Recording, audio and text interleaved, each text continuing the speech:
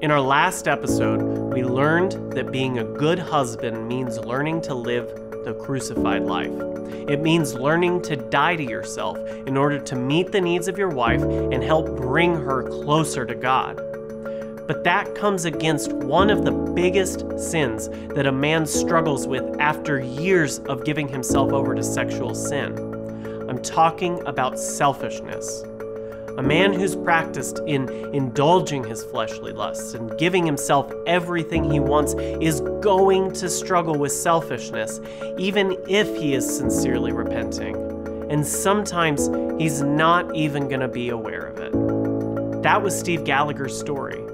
Even after he was done with sexual sin, and even after he had founded and established Pure Life Ministries, he still found himself filled with a level of selfishness which deeply hurt his wife, Kathy. And it took a lot of humbling and a lot of dying to self for God to transform him. In this episode, we look at what it means for a husband to learn to be selfless.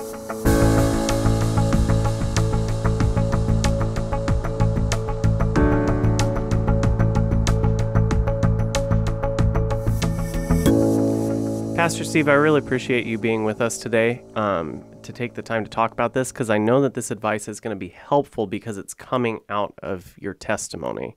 Um, at one time, you were completely unfaithful to Kathy, and you had to learn how to grow in being a godly husband. Um, so, I want to start off by asking you what was the biggest obstacle um, to being a good husband when you first came out of sexual sin? Well, just in a general uh, sense, it was my self centeredness. You know, I had completely given myself over to sexual sin for years. Mm-hmm. I had dug such a pit for myself in mm-hmm. indulging sin. And, you know, the more you give over to it, the more self centered you become. So, uh, as Kathy and I were working on restoring our marriage, that was that didn't just go away. You mm-hmm. know, that was something that took a long time for um, that to diminish. Mm-hmm. And um, you know, as I started becoming less self-focused, mm-hmm. then I was able to love her. Mm-hmm. And you know, it was just a gradual transition. I think about those early times, um, and I've heard Kathy talk about them a lot, how painful and difficult it was for her. And one of the things that she's expressed a lot is that that came from the um, uncertainty of would you keep going with the Lord or would you just fall um, right back into the same patterns that you'd been in before? Um, so I'm wondering, how were you able to keep yourself from returning to your sin? Well, definitely the Lord had his hand on my life. And, you know, um, May of 85 was the last time I was with another person.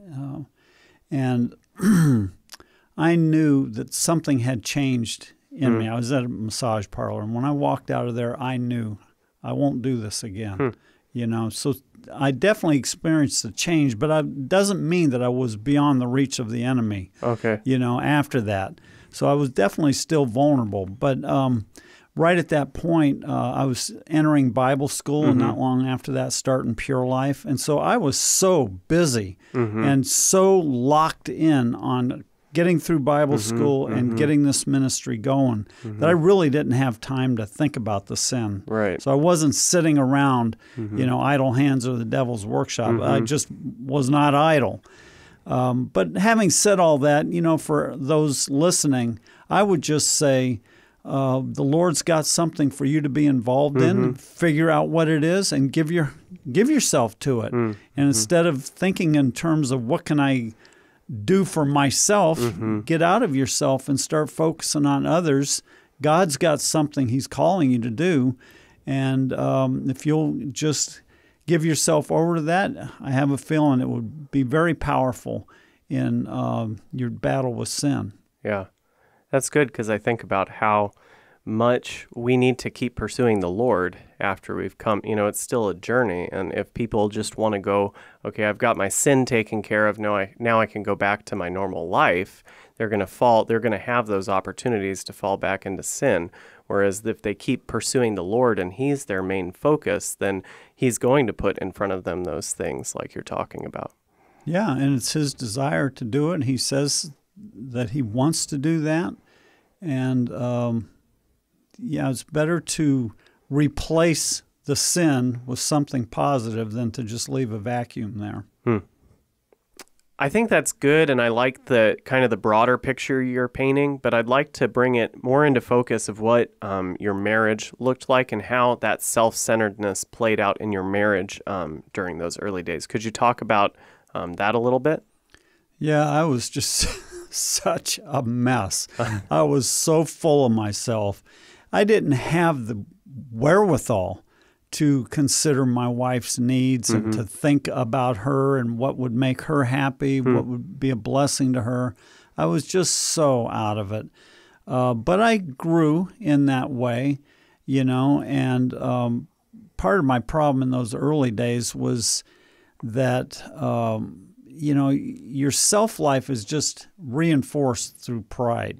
Okay. Pride and self are just hand in hand. And I was constantly going on national radio and mm-hmm. television mm-hmm. shows, which was just boosting my ego. Right. You know, so that wasn't helping anybody. You know, we had to do it. It was the way the ministry got mm-hmm. started, and the Lord was opening those doors.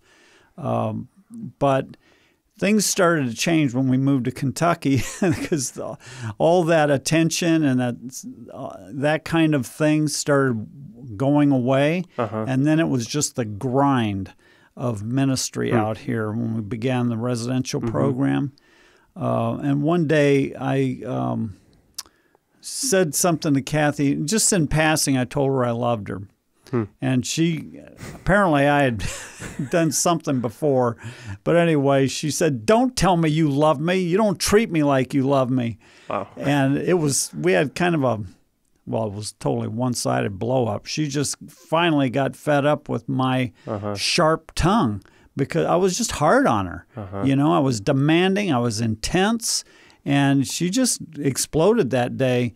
But something really happened for us that hmm. particular day because uh, I really saw how I was affecting her. Hmm. And uh, from that day on, things definitely got better in our marriage. That was 1970, no, 1990. What am I saying? That was 1990. Wow. Have you seen that play out in guys that you've ministered to over the years? Kind of a similar situation. They'll go home, they'll kind of still be living in some of the same flow, and then just the Lord will bring it to a head and bring a situation that really opens their eyes. Yeah, well, the Lord is happy to use anything He can possibly use to get our attention and to lead us in the right direction. And a lot of times, uh, let's just say that he's, there's no shortage of ammunition for him uh-huh. with a man who's coming out of sexual sin because uh-huh. he is just going to be constantly doing something wrong, hurting his wife, whatever, wow. and she is going to be reacting to it. So there's going to be plenty of those opportunities typically. Hmm. So I know you've talked about um, repentance playing out, taking a long time to work into a person. So did that argument? Did that spark a huge change in you, or did it continue like a lot of other things you've expressed um, on this podcast to just work itself out over time? Yeah, it was both. Um, the change was mainly in the way I interacted with Kathy. Mm-hmm. I was more careful in the, the, way that I spoke to her after that. You hmm. know, uh, um, yeah, I saw how how I had hurt her, mm-hmm. and it mm-hmm. was real to me. So the Lord used that in that sense. But I just had to go through a lot of breaking, and the Lord was faithful to do it. You know, every time I turned around, I was being mm-hmm. humbled or broken or disciplined. Mm-hmm. And I needed every bit of it. In fact, he really was very patient with me. I could have, you know, easily, uh, he could have justified doing a lot more. But just to give you an example, I mean, those first couple of years of ministry here in Kentucky were really hard. Uh, we had uh, 17 men crammed in a farmhouse in, you know, here, our first location. And um, and I was just so still so full of myself, Mm-hmm. and so I was continually trying to minister to these men, but Mm-hmm. had my own issues. And two different occasions during those first couple of years, every man in the program walked out. Mm-hmm. You know, and it was, I I understood it was in large part because of me. Uh-huh. Uh, I, I mean, the reality was they they were full of themselves. They didn't want to be told anything. You know, all the different stuff that they had. But a large part of it was my fault, and I knew it, and it really hurt to know that I caused this or had a big hand in it. And um, you know, but what can you do? You just got to go through it. I, I knew I couldn't quit. I had to keep going. So uh, the Lord used those things to soften me and humble me and help me in my interactions with Kathy. Yeah, I think as you talk about that, that that process, I know it was a surprise for me. It was a surprise for a lot of guys that the Lord doesn't take away all of the consequences of our sin, that the pride, the selfishness, the fear of the relationships of those around us, our wives, they um, it's still there and we still have to fight through that and that can become really discouraging and I, I think some guys might even just want to give up or go back to the their sin to what was easy. So what would you say um, to encourage a husband who's listening to this podcast to fight through all that and to keep persevering? I would say to just think about what you came out of and just think about going back into that Hmm. and the reality of uh, going back into sin. Hmm. You know, yeah, it's it's a difficult path, especially at the beginning. It gets easier and easier. It honestly does. Um, hmm. But what's the option? You know, you're going to go back into sin. You're going to break away from God. You're going to break away from the things of God. You're mm-hmm. going to head back into darkness and spend the rest of your days in darkness with the enemy. And I don't know exactly what that um, means eternally, but it, I wouldn't want to take a chance on that. yeah You know, who wants to even get around that cliff?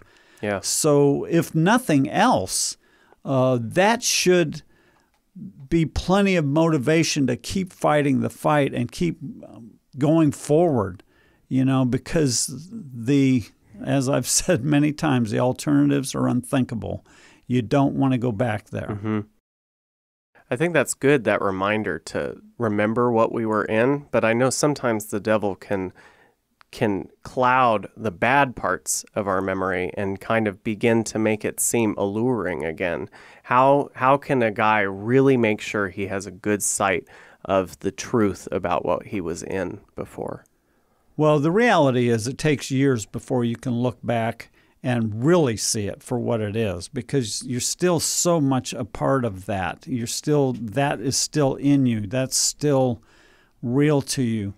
Um, but, you know, we all know what it's like after you've given over to your sin and the emptiness, the the futility, the the um, grief, the sorrow, the anger at yourself for doing it. We know what that feels like. Mm-hmm. Well, and we know what it's like. You know, when you have gotten out of it for a time, you know what it, what that existence is like. Mm-hmm. Yeah, the enemy can bring back memories of sin and make them look appealing. Mm-hmm. But we need to always, when that happens, we need to always uh, think in terms of, yeah, that's true, but also true and more true is what comes on the heels of that little indulgence. You know, just all the, um, man, the grief and the pain that Yeah. it brings. And so, you know, yeah, we just got to keep that in mind.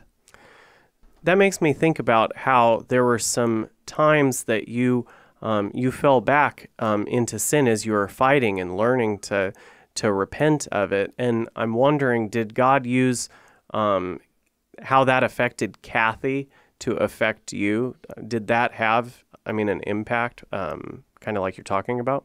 Yeah, definitely. Uh, the period you're talking about was before that 1985. The 1985 was the end of that period. So you're talking about the couple of years there before that. Um, and yeah, I would do fine for a while, and then, you know, the enemy would bring his temptations in, and I would just fall time Mhm. and time again. Uh, it really started to change when we developed devotion, uh, a devotional life. Okay. Then I started having the strength to overcome that. But yeah, it was one of the biggest motivators for me to fight to overcome was the way it was hurting my wife Wow. you know, and um, just yeah, having to tell her time after Mhm. time after time, I did it again, I fell again, you know, and um, it was uh, it was a help to me to Hmm. get keep going in the right direction. Wow. But that's a huge difference from where you'd been just a few years before that when any of your sin you couldn't care less about how it impacted her. Yeah, I was totally self focused. And um, the day that I went through that six hour ordeal uh, and had the gun to my head, that's what broke me as a Mhm. man. Hmm. You know, that's where the breaking started. And um, and that's when things started to change. There was a lot I still had to go through, but that was a huge um, game changer for me. I often hear you exhorting our students from the pulpit when they go back home not to compromise with the world and all of the things that it can do to entice them. Um, but I think about how there's a lot of our students, their families are not on the same page um, as they are after they've been in this environment for nine months. And so, how would you help a guy um, navigate between not compromising his own godly standards, but not just bowling into his family and telling him this is how it's going to be and becoming very domineering and dictatorial? Yeah, it's a difficult situation. And, you know, hopefully when a man comes to a residential program, the wife will go through the wives program because a lot of that gets dealt with in the wives program. It's, so they're both on the same page. Mhm. And when he comes home, she's already on the same page as Mhm. him and sees the value in a godly home. Hmm. Uh, but let's say, you know, that that isn't the case. She doesn't go through the program. And sometimes it's just so sad. A guy really gets it. You know, Uh-huh. when he's in the residential program, he comes to the Lord, has a, a complete change in his heart and his life. He goes home full of excitement about the things of God. But the wife, maybe she wasn't, in, you know, she wasn't in sexual sin, but she's still worldly. She's still carnal. She's still on that mm. same level he was at. Mm-hmm. And um, she doesn't see anything wrong with her life because she doesn't have those sins. So it, it does make it hard for the guy. And yet, having said that, we don't want him to go home and, like you say, be dictatorial ab- about these things. All I can say is he needs to sit down with her in a humble way hmm. and explain to her how the television or whatever um, creates the atmosphere that is conducive to sin. And just help her to understand he's in the fight of his life Yeah. and he really needs her support in this and do it in an appealing sort of way not in a uh, demanding sort of way. To wrap up today, we've talked primarily about kind of just how that selfishness played out in your marriage and kind of talk to guys about that. But could, if you had one blanket piece of advice for a husband who's been in sin um, and who's now trying to restore his marriage, what would that piece of advice be? I think learn to appreciate what the Lord has given you in your wife. You know, just uh, begin to appreciate her. When you're given over to sin, you're doing the exact opposite of that. You're just totally into yourself, and that's all you think about. But uh, as you start coming out of that, appreciation, gratitude, those are things that need to be um, nourished and worked on. You have to actually work on that. One of the things we do in the residential program is give guys gratitude lists Yeah. or, or assign them to do a gratitude list of all the things they're grateful for because that gratitude brings us to contentment, which brings um, depletes the lust in mm-hmm. our lives. So there's that side to it. But also important is really establishing the devotional life. When your wife sees that you are on your knees every day, same time every day, you are with the Lord, you're spending time in the Word, mm. spending time in prayer. I can't tell you hmm. how much that helps a wife to develop or to reestablish the trust.